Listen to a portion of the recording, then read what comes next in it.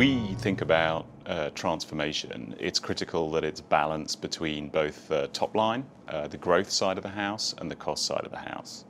Um, we've seen companies struggle, to be honest, if they focus disproportionately on margin expansion and performance. Um, and we've seen companies thrive and succeed if they have a very balanced approach across growing the top line and expanding their margins at the same time.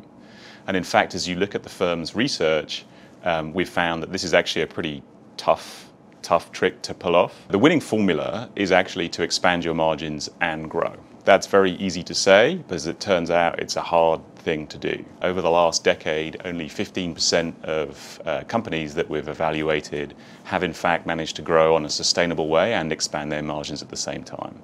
But those guys have, of course, been rewarded by the stock market for outperformance. It's a straightforward recipe to deliver against that.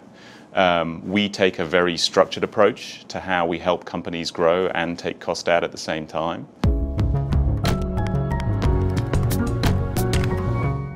It's very important to incorporate uh, growth at the beginning of a transformation rather than an afterthought.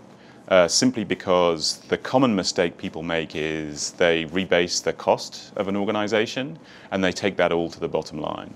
Uh, we've established that frankly, resource allocation, allocation of OPEX and CAPEX to the winning BUs, the winning initiatives, the areas where there's real headroom uh, in the marketplace, is actually one of the biggest single drivers of outperformance. Reducing all of your costs, taking them all to the bottom line and giving them back to the shareholders works very well in the short term, but in the medium to long term, it actually leaves you with your arms tied behind your back. The other big reason why addressing growth at the outset is critical is it is not an inspiring story for employees, uh, associates, to have the movie of this business be we're going to reduce the cost base for the next 12 to 24 months. Associate engagement is actually critical to drive growth in an organization, and it's much more inspiring to have a reinvestment story than a bottom line story. By the way, sometimes both are required. Um, but uh, that's, that's the best way to do it.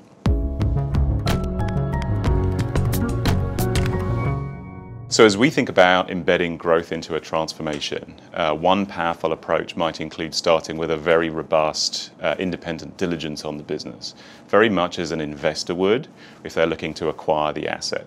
Um, what that really means is between six and 10 weeks of very hard work looking at every available growth lever, both the predictable ones that people might obviously think of, how to improve my marketing performance, how to get better at pricing and revenue management, how to improve customer experience and so on and so forth, but also in the digital era, much less obvious ones.